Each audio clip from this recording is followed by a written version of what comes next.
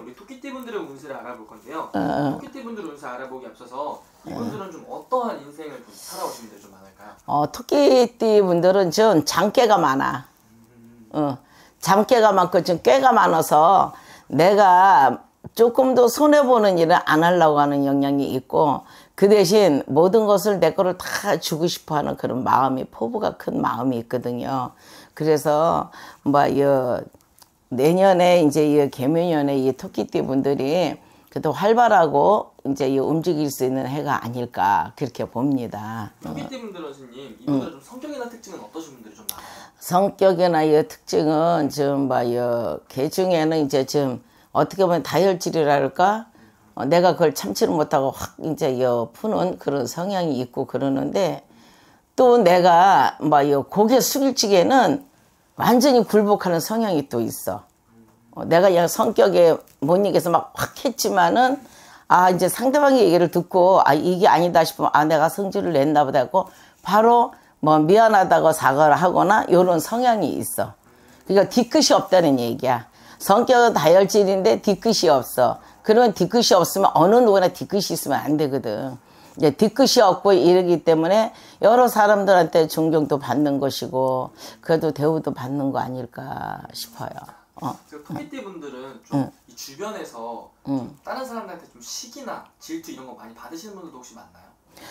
시기나 질투를 갖다 여 많이 갖다 여 본인들이 하는 것보다 남들이 시기 질투를 많이 하지. 왜냐면은 뭐여 사람들한테 앵기는 맛도 있고 막 이런다면 그러니까 오해 오해 아니면 오해를 받을 수가 있는 것이 그건 아닌데 이 사람들 성향이거든. 토끼들이 잘 앵겨.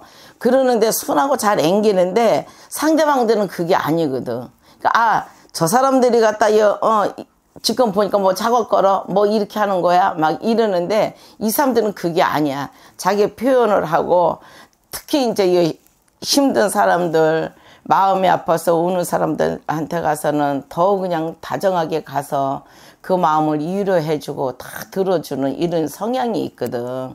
그리고 있기 때문에 오해 소질이 많지. 오해 소질이 많는데 너는 그래라 나는 갖다 한 길을 듣고 흐른다 이러고 또 넘어가는 성향이 많아.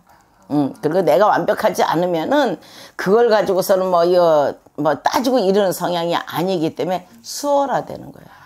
어, 어, 수월해.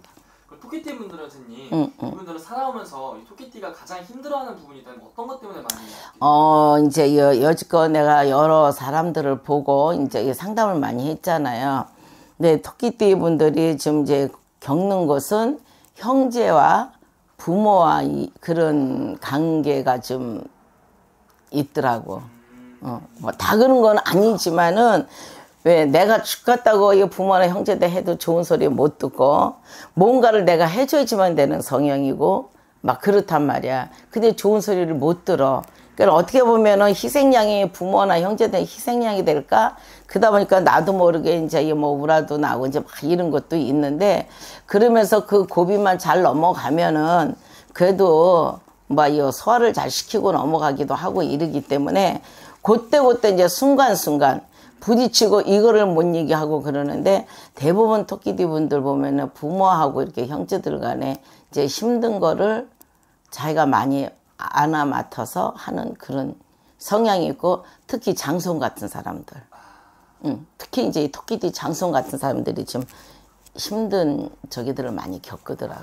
어. 토끼띠가 좀 장남이 아니더라도 장남처럼 좀 해야 되는 분들이 좀 해. 그렇지. 어, 어, 그래. 좀 이렇게 좀 많이 좀 가슴 아픈 인생을 살아오신 우리 토끼띠 분들인데 어떻게 내년에는 좀 좋은 일들이 좀 있을 수 있을까요? 내년에 그래도 이 토끼띠들의 개면연에는 뭐여 더 이제 여 활동할 수가 있는 것이 고기가 물을 만나는 격이다. 어. 그러나 이제 내가 사업을 하고 뭐를 한다고 했을 적에는 그래도 잘 파트너를 잘 선정을 해서 완벽하고 이제 아 이렇게 해도 되겠다는 것이 계획이 제대로 짜여져 있으면 그대로 이제 같이 계획대로 하면 되는데 그냥 뭐 누가 이렇게 인정상 어 그래 아, 그래 이렇게 하면 될 것 같아 이래 갖고 내 주장이 아닌 상대편의 주장으로면 따라간다는 것은 금물이야. 그거는 내가 진짜 이 불 속으로 들어가는 형국이거든. 그러니까는 잘 판단을 해서 뭐 머리들이 좋으니까 잘 판단을 하리라 믿지만은 그래도 사람 너무 믿지 말고 잘 판단을 해서 모든 걸 계획대로 갖다 했으면 더 좋지 않을까.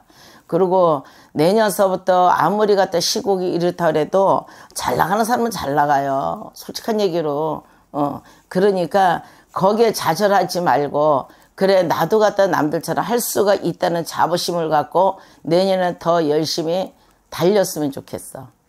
달렸으면 좋겠어.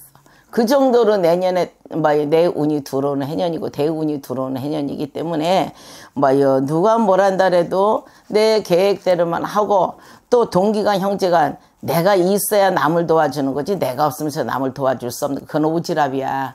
응? 내가 나도 힘들어서 죽겠는데 남부터 도와주겠다고 그거는 몰라. 내 눈에 보이니까 그럴지는 모르지만 나는 힘들어. 근데 내가 힘들어도 힘들다 소리를 못하잖아. 그거는 바보야 바보. 그러지 말고 내가 힘들다 소리 남한테 하질 않고 내가 일을 쓰고 나서 누굴 도와줘도 도와줘야지 되는 거지. 그렇지 않다고 보면은 같이 망하는 격이 돼버리는 거란 말이야. 같이. 조금 조금 푼 던져서 그 사람 크게 잃어서 못 잃어서 어 그러니까는 힘든 건 알지만 어느 정답껏 해야지. 그렇지 않고 무조건 내가 그쪽이다 나는 저게도 괜찮아. 나는 없어도 돼. 어? 이러면서 이거 한다는 것은 그거는 바보 짓이야. 같이 죽는 일이고 상대방을 더뭐 그렇게끔 만들어 주는 거야. 그러면 주다 보고 받다 보면은 그 사람은 아무것도 안 하고 주는 것만 받아 먹으려고 하는데 받아 먹는 게 적거든. 그다음에 투정을 한단 말이다 어 그러니까 절대 그러지 말고 노력으로 해서 이렇게 벌었으니까 당신네들도 정 힘들면 도와줄 수 있지만 당신네들은 노력을 하고 나서 도와달라. 그렇게 확고부동하게 내가 딱 정리를 해야지 되는 거지. 그렇지 않으면 항상 끌려 다니다 보면 부자가 될 수가 없어요. 그러니까 토끼분들이 마음이 굉장히 여리거든. 여리고 그러는데 이제 내가 이제 객관적으로 때 토끼분들 어 내년에 그래도 좋은 결과들도 있지만 그래도 앞으로 전쟁을 잘 살 수 있는 그런 띠들이야. 그러니까 힘내시고요. 힘들었던 이 고비를 어떻게든지 다 극복해 나가서 서로가 위안이 되고 극복해 나가갖고 큰 그릇들이 됐으면 좋겠습니다. 토끼띠 분들 큰 그릇이야. 그러니까 내년에 2023년도 개미년에는 그래도 토끼해가 돼서 그래도 이 가정가정 토끼띠들이 활발하게 움직여서 가정에 갖다 다 화목했으면 좋겠습니다. 여러분 청강만신이었습니다.